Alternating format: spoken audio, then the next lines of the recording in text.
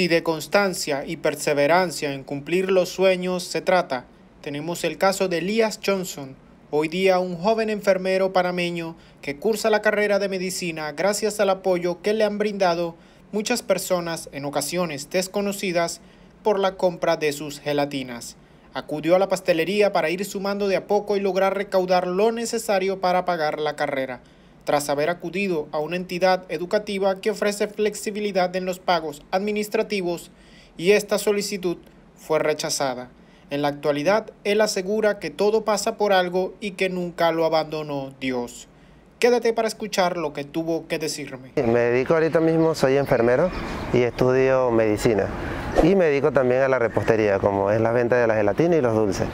Ok, la enfermería, bueno, la medicina siempre fue algo que querías estudiar desde pequeño o te fue naciendo con el pasar del tiempo? No, desde que era un, desde que era un niño quería la medicina, pero en el largo, en el pasar del tiempo no se me dio, pero aún así nunca desistí del sueño. Ok, y el tema de la repostería llegaría con la necesidad entonces de costear la, carrera, o fue algo que también ya había tenías de ti dentro de ti? Pues? Bueno, surgió o sea, ya venía en el camino, pero cogió más fuerza en el momento cuando vi que no podía costear, así que ahí fue que tomó más auge. y me estaba comentando igual que, por ejemplo, tienes a tu papá que se dedicaba a la repostería. Mi mamá. ¿Tu mamá? Y mi abuela. Ok, tu mamá y tu abuela entonces se dedicaban y me imagino que viendo la, uno, las ayudaba siempre de pequeño, mi abuela me llamaba también cuando iba para tiempo de, eh, casualmente en este tiempo, ella hacía bon, hacía otros dulces muy ricos y siempre me llamaba para ayudarla. Ok, y eh, con el tema del poder costearlo, nunca llegaste, o sea, siempre viste la repostería como segundo plano, nunca llegaste a pensar que de repente podías tener un futuro. Sí, nunca, nunca llegué como que como que ese era el primer plano, pero siempre lo mantenía presente, siempre practicando, porque yo sabía que en algún momento eso iba, iba a tener su auge, a pesar de que no, no completo, como nunca pensé pues. Ok, y ya para entrar como en líneas generales, eh, cuéntanos lo que sucedió con el IFARU, eh, para qué en su momento pediste el auxilio, para estudiar qué, y luego entonces ¿Cómo fue surgiendo aquello de poder costearlo finalmente? Bien, eh, esto surgió desde, desde, antes de que yo comenzara la carrera de medicina, solicitaba las, mandaba mis cartas, iba directamente al IJARO para poder eh, estudiar porque yo sabía lo difícil que era estudiar y trabajar, pero aún así, como no se me dio, entonces ahí fue que tuve que buscar otro camino, pero sí vengo desde años, casualmente estaba revisando unas cartas y estaba la fecha del 2019, y aunque sea otros años más atrás, estaba recordándolo. Ok, y ahorita por ejemplo con la entrega, que, bueno, con el boom de que se ha dado de las entregas al auxilio económico, eh, en la actualidad, digamos, ya cinco años después, cuatro años después, qué opinión como que le merece, o sea, que, en verdad esto debería ser para personas que lo necesiten o para todo público, ¿cuál es tu opinión al respecto? Yo pienso que debería ser para personas, uno que tengan el deseo de superarse y que lo necesite. Y cuando, o sea, me da tristeza porque en ese momento, o sea, y todavía lo necesito, no, ya es diferente, pero sí lo necesitaba. Y ver en la situación de que no puedes estudiar lo que tú quieres, o sea, da, da pesar. Y no solo pienso en los demás, de que muchas personas como yo, y muchos me han comentado de que están en la misma situación, que no pudieron estudiar y muchos se desistieron de sus sueños. Y eso es lo que más dolor me da. Ok, y cuando te dijeron el no por parte del IFARU, eh, ¿llegaste a algún momento de desistir de que podías llegar a estudiar medicina?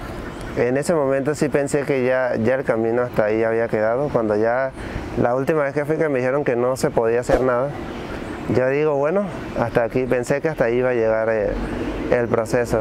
Y sí, de verdad que y me dio dolor, pero aún así traté de, no dejarlo ir. Ok. Eh, por lo general cuando uno tiene como a desistir, uno acude siempre a un ente superior, bien sea dependiendo de la religión que sea.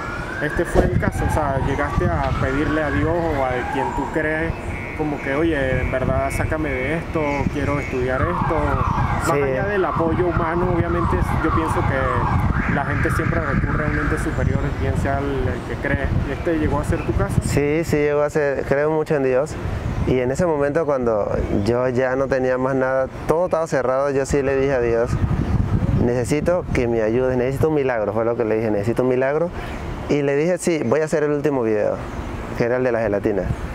Si, si no ocurre el milagro, ya yo sé que hasta aquí es, el momento de que ya desistir de la carrera.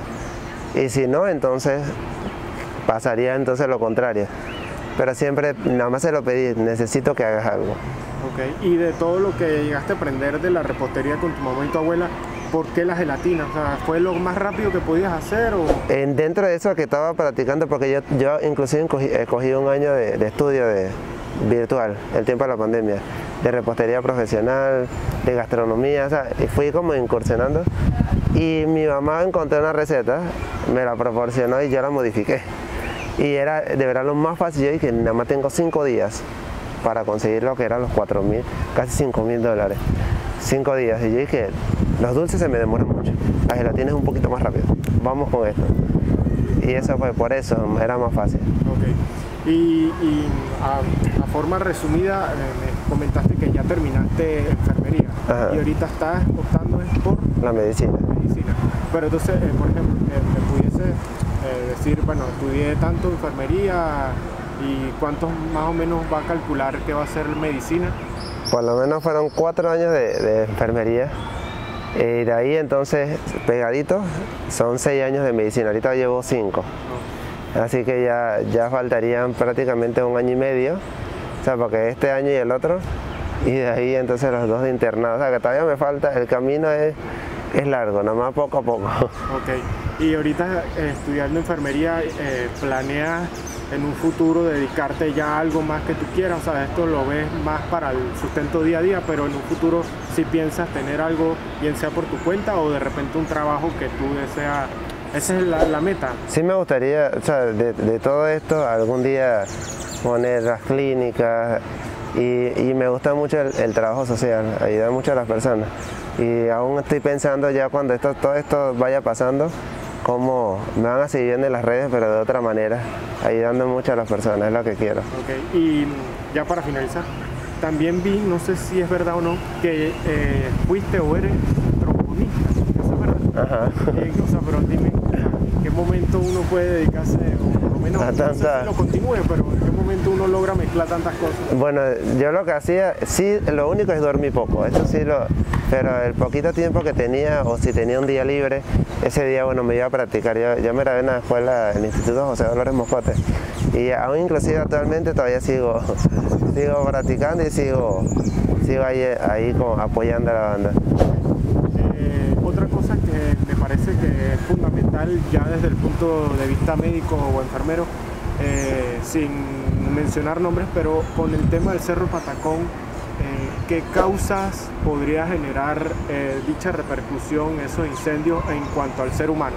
Ojo, sin obviando el político, pero qué repercusiones en cuanto al lado de, medicina puede generar al ser humano que respira y transpira todo O sea, por lo menos sabemos que las, basuras son la acumulación de muchos desechos orgánicos que, que uno en la casa ya no necesita y, la, hay muchos productos tóxicos. Entonces, al, tener contacto con el fuego, eso va a crear, esa, los aerosoles que libera son nocivos para el cuerpo humano, como más que todo a nivel pulmonar.